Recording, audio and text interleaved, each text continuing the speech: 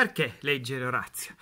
Beh, Orazio è uno dei miei autori preferiti, forse il mio autore preferito della letteratura latina. E quindi sicuramente va letto perché è bellissimo.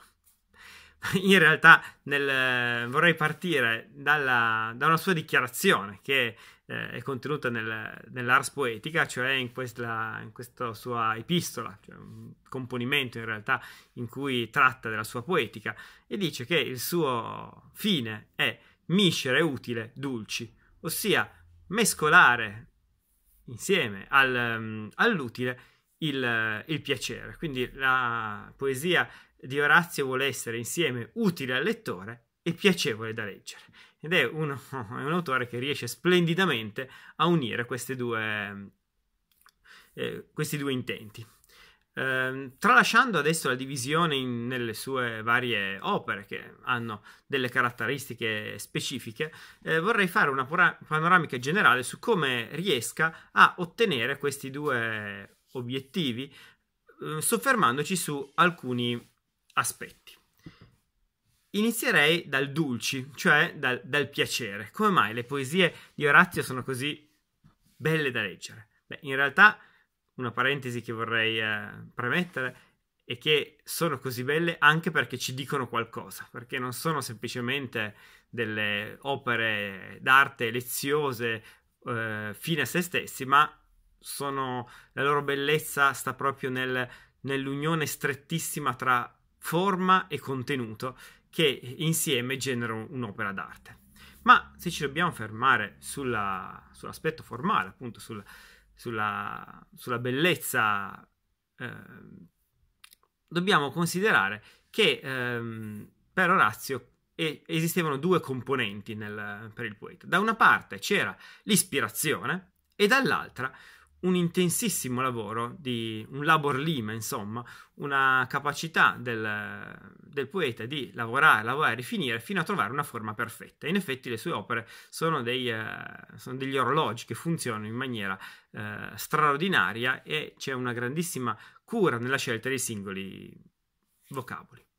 Lui da una parte quindi si presenta come Vates, ehm, poeta che ha una un, una connessione diretta con gli dei che gli danno una sorta di ispirazione, quindi è un rapporto privilegiato con la divinità. Questa è una, eh, un'idea che è, proviene da Omero, da, da, tutti, da, tutta la tradizione precedente. Insomma, la musa canta al poeta o, o, addirittura usa il poeta come suo tramite e anche qui eh, Orazio, lui eh, nelle sue opere sostiene di, essere, di avere un'ispirazione particolare, che però non è sufficiente, o meglio è sufficiente forse ad alcuni. Qui c'è la famosissima, eh, famosissimo paragone tra eh, lui e Pindaro. Pindaro, grandissimo poeta greco, che eh, è rimasto nel, nel nostro, nella lingua comune come nelle, espressioni voli pindarici. Cos'è un volo pindarico? Un volo pindarico si ha quando qualcuno comincia a parlare e si sbrodola parlando di tutt'altro. Questo perché eh, Pindaro eh, nelle sue odi era, eh, aveva questa capacità, in realtà artistica nel suo caso, di eh, affrontare delle grandi digressioni.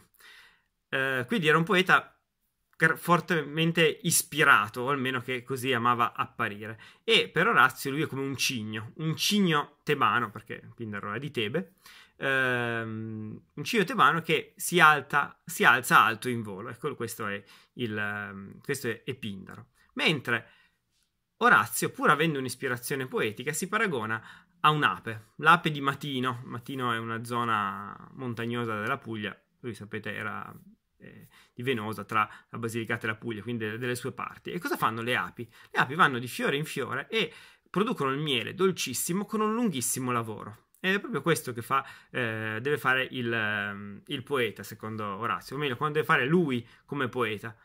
Cioè, raccogliere, eh, lavorare eh, intensamente, rifinire e solo così potrà creare un capolavoro, il miele appunto, che è la sua poesia.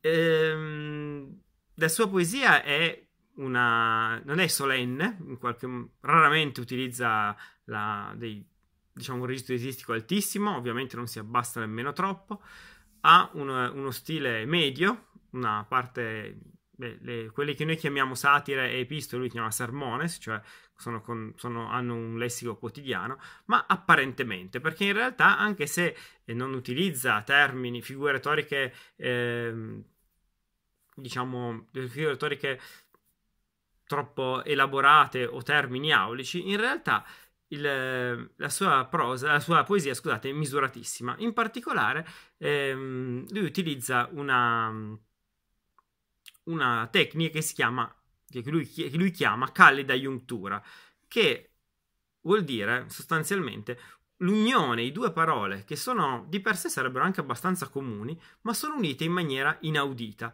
in maniera cioè, del tutto originale. E questa originalità provoca da una parte un momento di straniamento nel lettore e dall'altra riflessione, perché se noi nella, nella poesia troviamo qualcosa che in un testo in generale, comunque nella poesia in cui troviamo qualcosa che non è quello che ci aspettiamo, ci soffermiamo un attimo a riflettere. Un esempio molto famoso è il concetto di aurea mediocritas, che poi ci rimanda alla, all'aspetto filosofico. Aurea medio- la mediocrità aurea. Mediocritas di per sé vuol dire non qualcosa di eccesso, appunto di medio, una medietà, che però diventa aurea, cioè dorata, meravigliosa. Cioè quello che ci sta dicendo Orazio, insomma, è che anche la medietà, in italiano mediocrità ha una connotazione negativa che in latino non ha, comunque anche la medietà può essere aurea, cioè affascinante. È quasi un ossimoro perché medietà rimanda a una via di mezzo, aureo invece rimanda a qualcosa di eccesso. E questa è una callida iuntura, un esempio di callida iuntura che veicola un, un significato. E così arriviamo all'utile. Il, noi potremmo vedere anche un po' Orazio come un maestro di vita, anche se lui non apprezzerebbe forse molto questa definizione, perché ehm, il suo atteggiamento nelle poesie non è tanto di maestro che ci insegna, quanto piuttosto di un, um, una persona che sta insieme a noi, insieme a noi lettori, cercando di arrivare alla sapienza. Quindi il suo è un percorso, non si presenta come qualcuno di arrivato alla saggezza, ma invece come qualcuno che la sta cercando. E in questa ricerca ha un, uh, un maestro che è Epicuro. In realtà lui non segue in maniera rigorosa le teorie di Epicuro, un po' le varia, un po' non si sente all'altezza. Lui eh, si definisce eh, Epicuri gregge porcus, cioè il maiale del gregge di Epicuro, nel senso che sicuramente, a parte il fatto che era un po' grasso e quindi anche questo richiama il, il maiale, ma al di là di questo c'è il fatto che eh, non pensa lui di avere una... Ehm, l'altezza morale, filosofica del maestro, ma, ma comunque di avere questo, eh, questa ricerca di, ehm, di piaceri, questa ricerca filosofica affine al maestro. Tra l'altro lui eh, sappiamo dal punto di vista biografico che eh, ricercava piaceri anche piuttosto eh, estremi, insomma, oltre alla, all'amore per il cibo, ehm, anche l'amore, insomma, come sesso era fortemente ricercato da, da Orazio, che eh, pur non avendo relazioni stabili aveva eh, diversi rapporti con prostitute o, o, donne di facili costumi, insomma. Comunque, il suo, il suo orizzonte è quello epicureo. Ehm, I due capisaldi de, che prende da um, Epicuro e che sono presenti come sottofondo nelle sue opere sono i concetti di Metriotes e di Autarcheia. Cominciamo dalla Metriotes, che ci rimanda all'aurea mediocritas. Eh, Metriotes vuol dire il giusto mezzo. In realtà questo più che da Epicuro, questo oltre che essere un concetto epicureo, è un concetto che arriva da er-, Aristotele. L'idea, insomma, che la virtù stia nel non eccedere né da una parte né dall'altra. E lui porterà, porta molti esempi di questo. Um, uno famoso è eh, la ricchezza, per esempio, dice, ma perché la gente deve discutere se sia meglio essere poveri o essere ricchi? Chi è povero sta male, è evidente. D'altra parte, molto spesso vediamo che i ricchi sono presi all'ansia di accumulare, quindi l'eccesso di ricchezza è totalmente inutile. Ma questo non vuol dire che dobbiamo vagheggiare la povertà. Dobbiamo avere una via di mezzo, avere, mi dice, una, una situazione di benessere materiale medio, senza voler arricchirci chissà quanto, senza per questo sprofondare nella povertà. La virtù, insomma, sta nel mezzo, un'idea che è eh, tipica della filosofia classica, in, eh, almeno per molti aspetti, e che viene poi anche ripresa da autori successivi.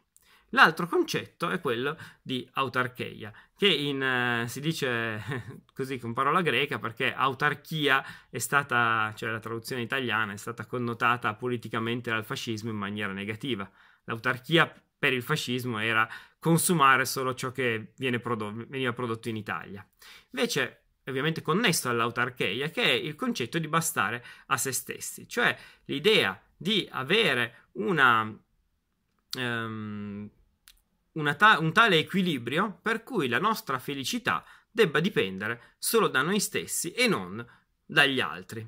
Quindi una, non, non, c'è un'idea materiale, è ovvio che una società si debba in qualche modo entrare in relazione con gli altri, dipendere per alcuni aspetti materiali dagli altri, però se noi abbiamo pochi desideri, quindi non abbiamo qual, qual, sfrenati desideri di gloria, di ricchezza, eccetera, in realtà possiamo condurre una vita sostanzialmente indipendente. Quindi dobbiamo avere una capacità morale di bastare a noi stessi, una capacità di ridurre i nostri desideri, questo era uno dei principi anche di Epicuro, perché in questo modo, non dipendendo dagli altri a ciò che ci sta intorno, potremmo raggiungere la serenità.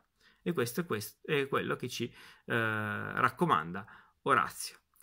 In generale, lo vedremo poi nei testi, eh, la sua idea è, eh, i testi più interessanti dal nostro punto di vista, ehm, è quella di indirizzarci verso una calma serenità e un godimento pacato di ciò che la vita di buono ci può offrire.